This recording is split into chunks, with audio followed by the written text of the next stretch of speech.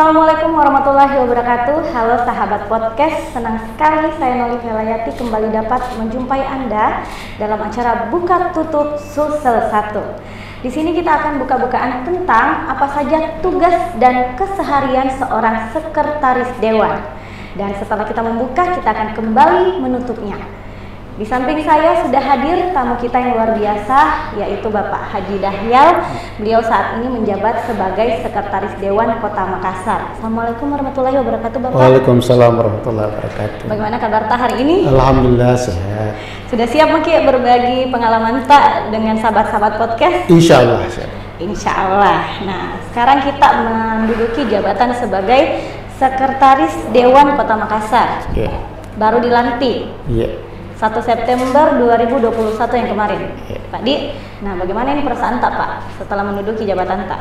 Eh, sebenarnya saya mau sampaikan dulu bahwa saya ini adalah PLT Sekretaris Dewan. Jadi jabatan definitif saya adalah eh, Kepala Bagian Persidangan Sekretariat Dewan eh, DPRD Kota Makassar. PLT Sekretaris Dewan. Iya. Tapi berharap dikit juga jadi sekwennya langsung. Insya Allah. Insya Allah. Yakin Pak Dik? Eh, insya Allah. Insya Allah. Dengan izin Allah. Insya Allah. Insya Allah. Nah sebelumnya kita ini Pak uh, menduduki jabatan sebagai PLT Sekwan. Bisa ki, mungkin ceritakan awal karir tak? Iya. Jadi saya berkarir di pemerintah Kota Makassar itu sejak uh, Maret 1993. Yang pertama saya bertugas di Kecamatan Tamalate kurang lebih 9 tahun terus mutasi ke kepegawaian di balai kota itu kurang lebih enam tahun. 6 tahun. Terus uh, tugas belajar S2 di STPDN selanjutnya itu 2006 menjadi lurah di Panakukang di Kelurahan Pandang di sebelah ini. Terus selanjutnya saya di inspektorat kurang lebih 12 tahun. Inspektorat sebagai apa Ki Pak? inspektorat saya awal masuk sebagai kasubat uh, umum dan kepegawaian. Kasubag umum dan kepegawaian. Ya, Adum. Terus itu saya jadi sekretaris selama dua tahun. Dari tujuh tahun jadi kasubag, dua tahun jadi sekretaris. Setelahnya itu saya jadi kepala bagian kesra di Balai Kota selama tujuh bulan. Tujuh bulan. Dan kembali lagi menjadi sekretaris inspektorat selama dua tahun. Dua tahun. Dan satu September saya mutasi ke sekretariat dewan. 1 Septembernya berarti kemarin iya. Pak, lumayan panjang ini perjalanan karir iya, Pak. hampir 30 tahun. Hampir 30 tahun. Banyak nih pengalaman-pengalaman yang kita dapat. Iya, alhamdulillah. Alhamdulillah. Nah, sebelumnya juga kita sudah bilang nih uh, jabatan tak sebelum duduk sebagai sekwan tadi apa kita sebutkan, Pak? Sekretaris Inspektorat. Sekretaris Inspektorat. Ada yang ada perbedaan enggak kita rasa, Pak? Sama-sama di sekretaris, satu inspektorat, satu ya. sekretaris dewan. Iya. Kalau sekretaris inspektorat itu kan eh, eselonnya 3A. Tapi kalau eh, sekon itu eselon 2, tapi kan baru PLT. Baru PLT, ya? Pak. PLT. PLT yang insya Allah menjadi sekuen G nantinya, insya Allah. Ya. Ya. Tadi kan kita juga cerita kalau awalnya itu kita dilantik di tanggal 1 September 1 2021, September. belum iya. cukup sebulan, belum Pak. Cukup kita sebulan. menjabat sebagai PLT Sekwan. Iya. Nah, kira-kira bagaimana perasaan tak setelah duduki itu jabatan PLT Sekwan? Iya, kan jabatan definitif saya sebagai uh, kepala bagian persidangan. Namun uh, sehari setelah itu uh, saya diberikan amanah oleh Bapak Wali Kota untuk menjalankan tugas sebagai PLT Sekwan. Nah, tentu uh, eh, tugas bertambah ya tugas bertambah selain kepala bagian eh, juga bertugas sebagai PLT Sekwan yang harus mengkoordinir semua pelaksanaan tugas di tiga bagian lain ini ada bagian umum, bagian perlengkapan eh, dan bagian eh, apalagi satu umum keuangan. Keuangan. Keuangan.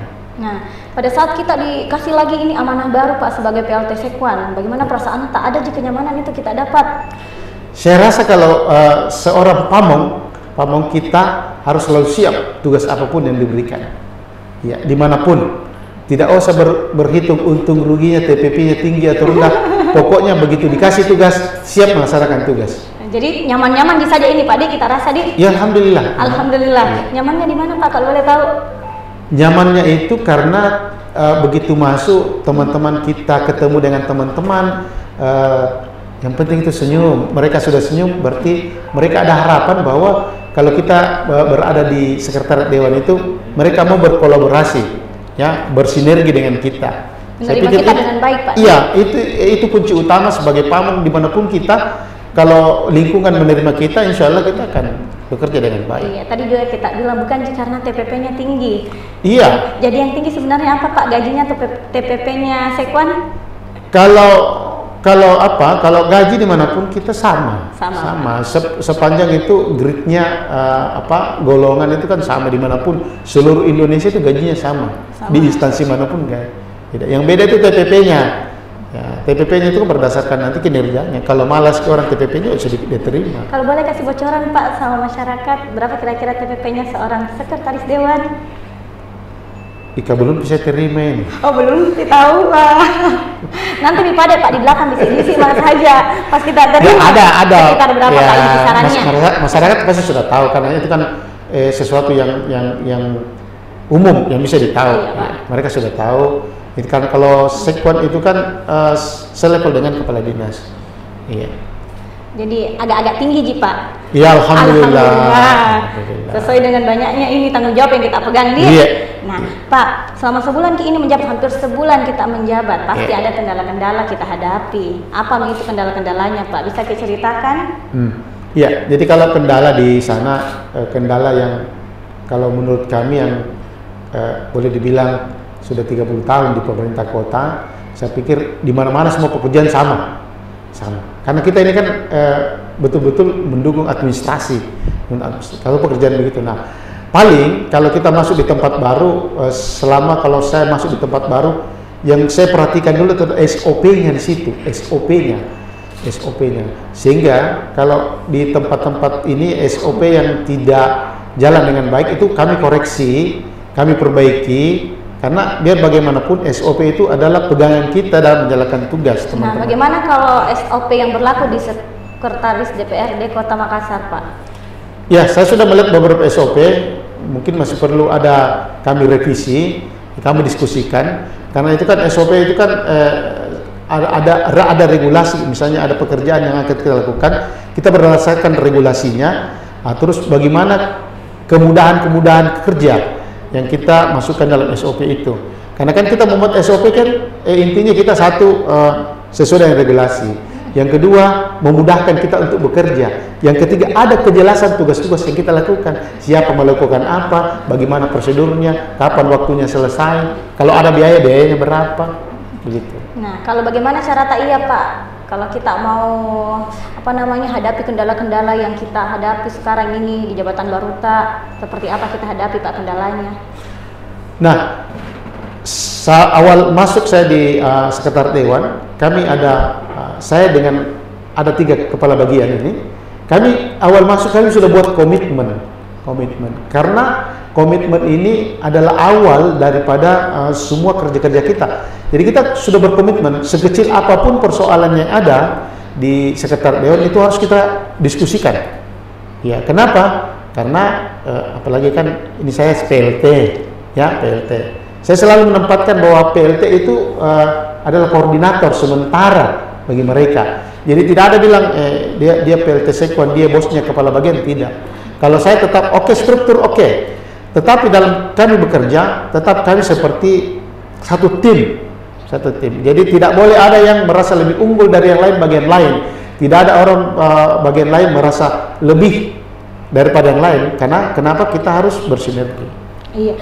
Nah Pak, 30 tahun Meki ini punya pengalaman sebagai iya. ASN. Apa tantangan terberat tak ini Pak? Dari pengalaman tak 30 tahun menjadi ASN? Saya kira kalau kita kembali lagi, kalau kita berbicara masalah disiplin, orang selalu kalau berbicara disiplin dibilang, anu kata-kata yang basi. Tapi kalau saya itu kata tidak pernah basi. Kenapa? Karena kita harus selalu memaknai bahwa disiplin itu bukan hanya disiplin jam kerja. Orang bilang, oh tidak disiplin ki, terlambat ki kerja, termasuk mas, terlambat ki mengabsen. Ya, tapi kalau sudah mengabsen lari nih, tidak ada di kerja. Nah, disiplin itu uh, banyak aspek disiplin itu, terutama aspek bagaimana menyelesaikan tugas-tugas dengan baik. Menyelesaikan tugas dengan baik itu yang pertama adalah selalu patuh terhadap regulasi. Itu yang paling utama. Kalau kita mau selamat, selalu patuh terhadap regulasi. Yang kedua, taat kepada SOP yang sudah kita buat. Ya, karena kalau ada SOP-nya juga, anu dibikin-bikin dia tidak pasang-pasang, anu apa baru dia tidak taati, dia tidak lakukan itu uh, percuma, percuma. Pak, kenapa kedisiplinan itu kita anggap tantangan atau uh, apa namanya?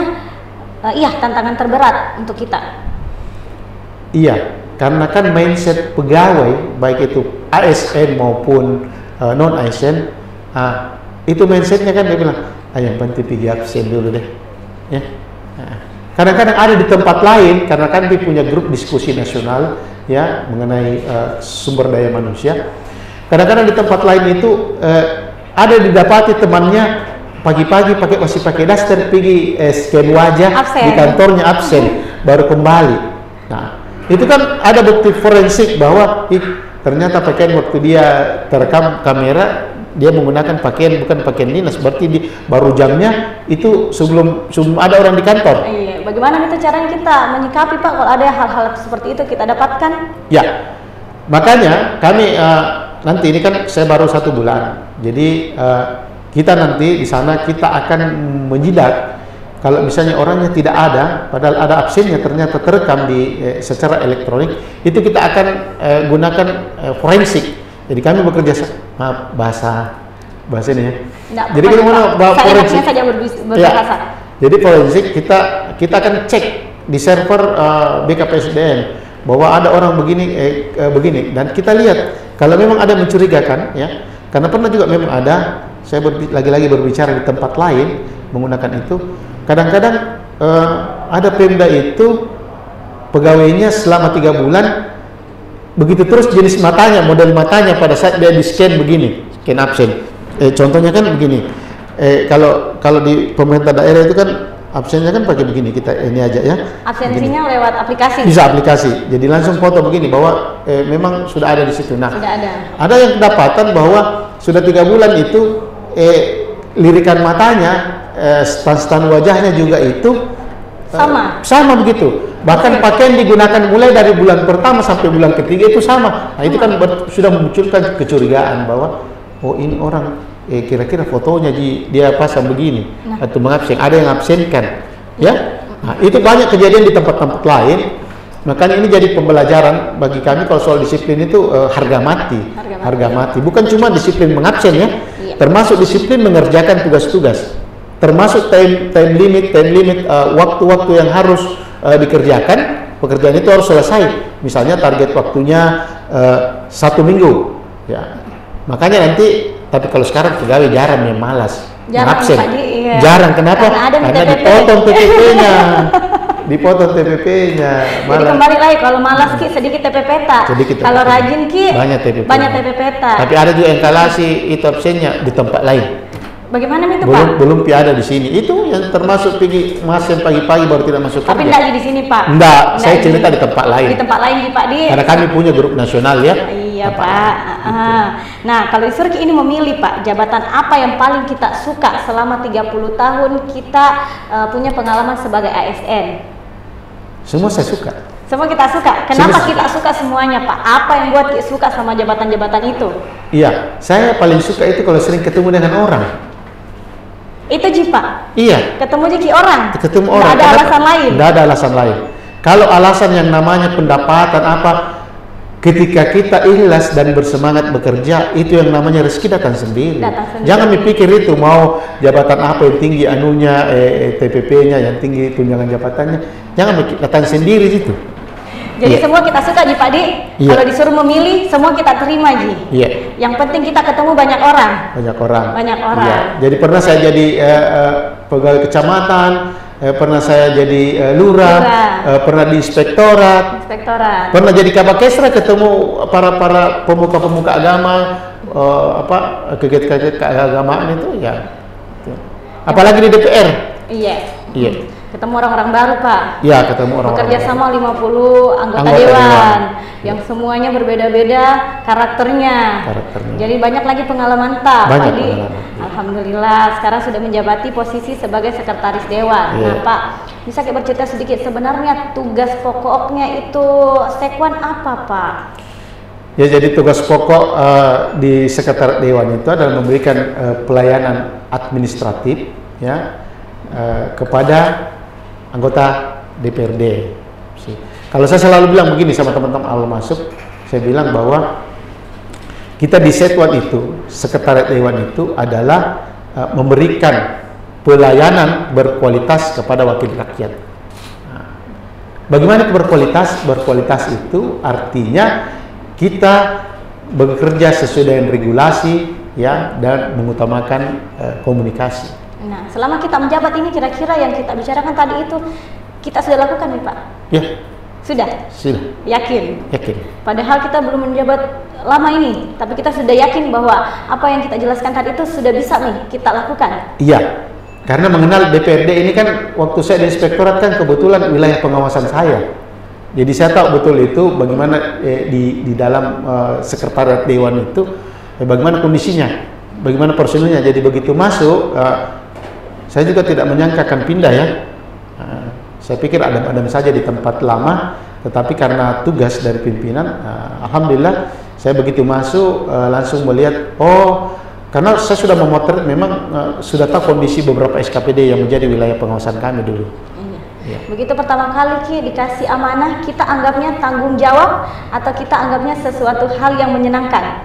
Iya tanggung jawab. Tanggung jawab. Iya. Kenapa? Amanah. Kenapa? Karena kita memang selaku ASN memang eh, begitu diberikan uh, kita harus mutasi, berarti kita diberikan tanggung jawab tanggung yang jawab. baru di sana. Iya. iya. Kira-kira kita mampu nih sama tanggung jawab baru tak? Insya Allah. Insya Allah. Ya. Apa yang buat yakin bahwa kita mampu dengan jabatan baru tak? Iya. Yang pertama, eh, saya selalu mengatakan insya Allah. Kenapa? Karena ini semua saya jalani karena takdir, karena ya, takdir. ya karena karena takdir dan mudah-mudahan saya bertakdir takdir saya saya bisa bersama teman-teman di DPR itu bisa uh, karena saya saya sudah masuk kurang lebih satu bulan ya alhamdulillah uh, teman-teman kayaknya terima di saya di situ alhamdulillah yeah. nah Pak dalam menjalankan tugas-tugas pokok tak sebagai sekretaris uh, Sekwan yang mengurusi 50 legislator Ya. Adakah kendala yang kita hadapi mengingat ini jabatan tak masih baru ya. kita jalani? Ya. ya paling itu kaget-kaget sedikit kalau ditelepon ada kendala-kendala misalnya ada kebutuhan kan saya sudah belum terbiasa ya belum terbiasa dengan itu. Kalau pekerjaan administratif yang lain kan gampang kita menyesuaikan. Ya paling itu eh, kalau misalnya ada kerjaannya teman-teman yang eh, yang yang tidak apa yang tidak sesuai dengan keinginannya atau sesuai dengan prosedur yang ada di DPRD, ya paling teman-teman eh, beliau-beliau itu yang di DPR paling menelpon, Pak Sekwan, bagaimana ini anunya Pak Sekwan? Eh, anggota tak belum selesaikan. Oh siap siap Pak, kita. Jadi begitu ada telepon uh, anggota dewan, eh, langsung beliau-beliau langsung saya eh, tindak lanjuti. Langsung tidak pernah saya kasih, tidak pernah saya kasih lewat satu jam. Langsung. Langsung saya, saya cari tahu ke, kebagian, eh subbagian apa, uh, eh tolong ditindaklanjuti ada begini toh coba berkasnya ada yang belum lengkap ada belum apa Iya. Nah, Pak, Sekretariat DPRD juga merupakan unsur pelayanan administrasi yeah. dan pemberian dukungan terhadap tugas dan fungsi DPRD. Bagaimana cara dan strategi tak Pak Sekwan menjalankannya agar 50 anggota DPRD terpuaskan walaupun maaf Pak Sekwan ini kan bukan alat untuk pemuas. Iya, saya pikir begini uh, saya tegaskan kembali bahwa kami melayani eh, wakil rakyat. Jadi kami memberikan pelayanan berkualitas, bukan memuaskan, tapi berkualitas. Semoga dengan pelayanan berkualitas itu eh, beliau-beliau uh, itu bisa menerima ya. Kalau karena kata puas itu kan relatif, iya. relatif, iya. Iya. Nah Pak, salah satu tugas Sekwan juga mengurusi pimpinan DPRD iya. dalam tugas-tugas kedewanan, baik penyelenggaraan administrasi pemerintahan iya. dan pelayanan administrasi kepada seluruh anggota dewan. Pertanyaannya, selama menjabat apa kendala yang kita hadapi Pak Sekwan? Saya kira kendala sampai hari ini eh, tidak ada yang begitu berarti ya, karena paling kendala komunikasi Ji. yang saya maksud kendala komunikasi itu Kadang-kadang memang uh, uh, teman memberikan pelayanan itu ada informasi yang tidak nyambung kepada anggota dewan atau pimpinan sehingga kadang-kadang beliau langsung telepon ke sekwannya, eh bagaimana itu? Saya sama saya, saya bilang tadi bahwa eh, anggota beliau-beliau itu telepon ke kami, eh, ada anggota ada yang belum tuntas begini, kami segera tidak lanjuti, iya. Jadi Carata menila- menindaklanjuti langsung, Langsung, tidak ada yang bermalam. tidak bermalam. Tidak ada yang bermalam. Iya. Saat itu juga selesai Saat itu masalah. juga selesai masalah. Ada masalah langsung selesai. Selesai. Termasuk eh, administrasi-administrasi yang ada ketika itu sudah bersyarat lengkap tidak boleh dikasih bermalam di meja. langsung Pak. Langsung selesai kecuali ada yang sudah yang setelah diverifikasi ulang lagi tidak lengkap ataukah tidak memenuhi eh, aturan regulasi kembalikan Kembalikan. untuk diperbaiki segera dan kita sudah kasih tahu memang segera kembalikan ya. Jangan dikasih bermalam juga atau sampai satu, dua hari tidak boleh lagi